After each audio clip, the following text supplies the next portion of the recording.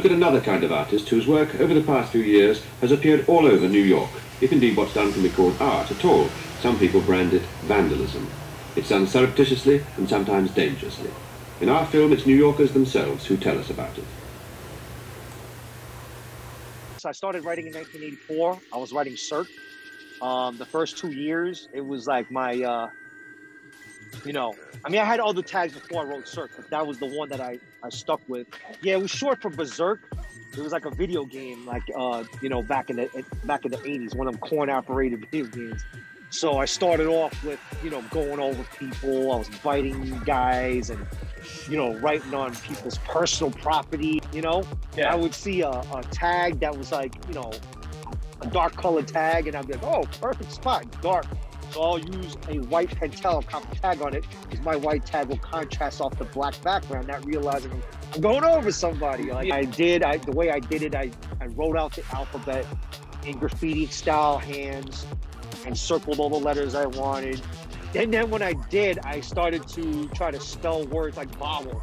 Like I tried to spell words until I came up with like a handful of names and they worked really well. So I was like, you know what? That's it. Bam, cool. That's the name I'm taking. Uh, some of the people you interview, you know, they forget. Like, you know, some of these guys are like much younger generation than you.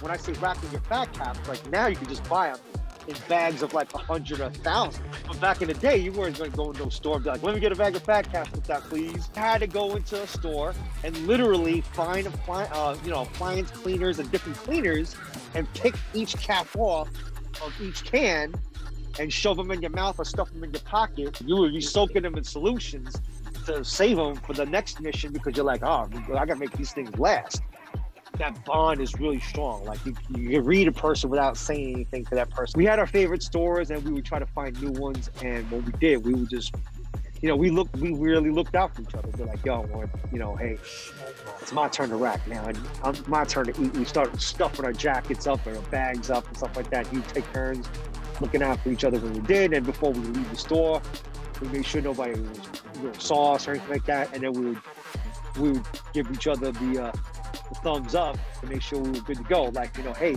John, you know, you freaking, you're, you're looking crazy and shit, man. You, you're freaking, your jacket looks like it's, looks like you racked a freaking damn Christmas tree or a turkey or something like that underneath your jacket. You might want to take some of those cans out. It looks really bad. And I had everything itemized on there. It'd be like Krylons. It'd be like $275. Rust-Oleum, 320. By the time that day went by, it would be a couple of it would be like a couple of G's worth of shit in my car. I was bombing with my high school buddy, and um, we were literally bombing the freeway, the highway. Um, yeah, it was crazy because, um, you know, we literally hit everything on both sides of the frequent highway all the way down. And then um, we were getting ready to wrap up this mission because we're almost out of paint. But we had just enough. We had just enough paint in the cans to cop a couple of more tags. cop is getting off freaking exit and slows down and sees us like straight spraying right there. We're like, oh shit, get the hell out of here.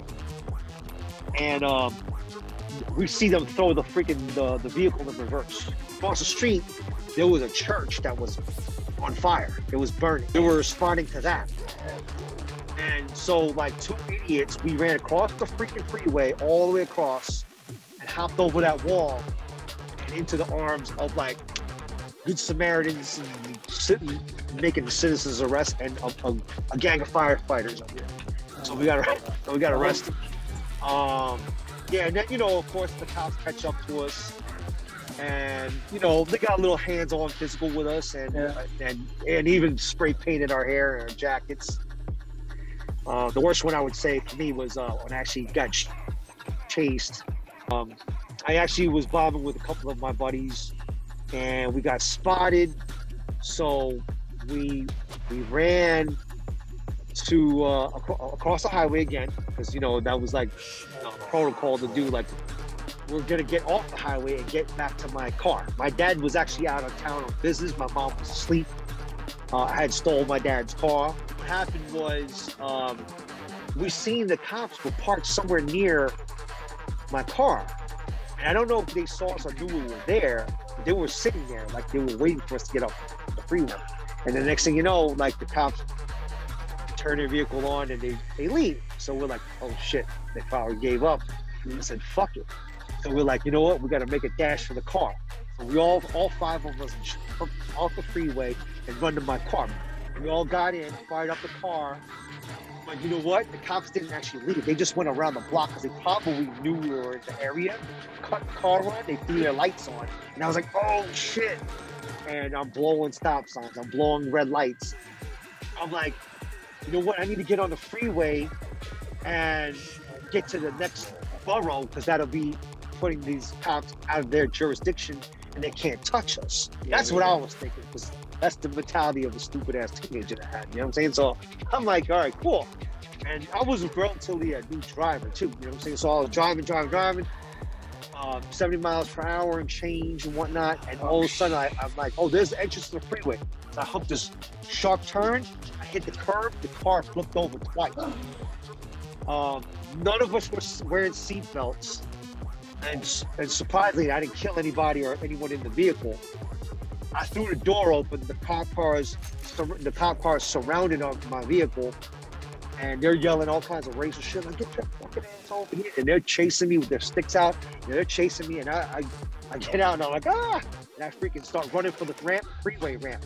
Me and one of my other buddies, we we literally just barely got away. What ended up happening was I got a phone call in the middle of the night.